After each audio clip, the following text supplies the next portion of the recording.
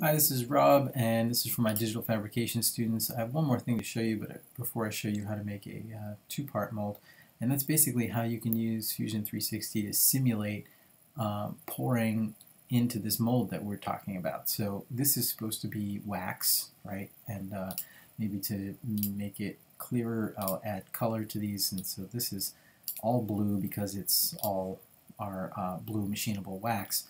Um, I'm going to then um, try and pour silicone into this or simulate that.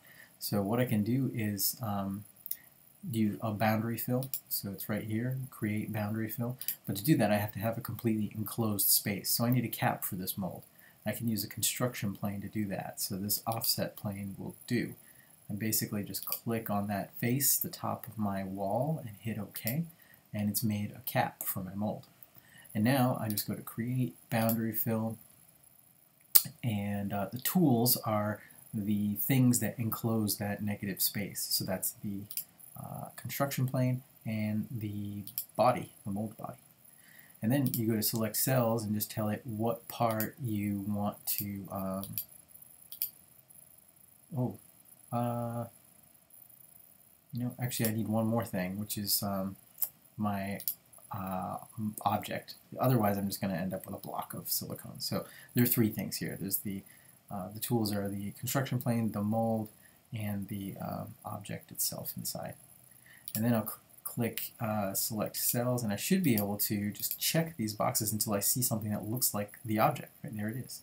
Um, but uh, that's not what I'm trying to cast actually. So I'm trying to cast the interior negative space. So this is you kind of just click around until you find something that looks like it's the silicone uh, that would get poured in. So that's the negative space that we're looking for.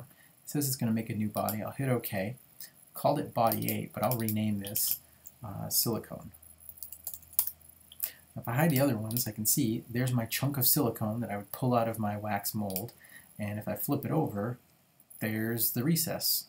So now I could actually, working from this silicone chunk, Let's make this a different color so it'll uh, make sense that we've moved on to another material. So let's say the silicone is white, and um, now we've got our silicone separate from our wax. And we can do the same thing here, do a boundary fill, and then see the form that would come out of this mold, which would be, you know, whatever materials you're casting, chocolate or uh, hard candy or crayon wax or whatever. So uh, I'll do the same thing here. I'll make an offset plane that is on top of my uh, mold. Turn construction planes back on. And I'll say OK. Hide the old one. And, uh, and then I'll just do create boundary fill and choose from my tools the uh, construction plane I've just made and this mold body, the silicone body.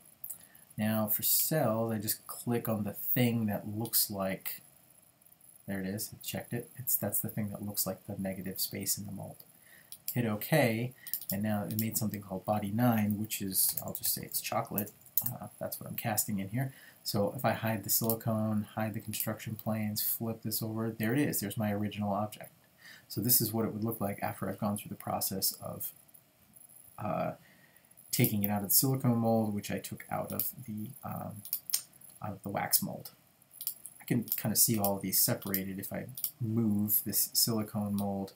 I'll flip it over and move it over and say OK. And then uh, the chocolate one, I'll do the same. So I'll move it uh, over here.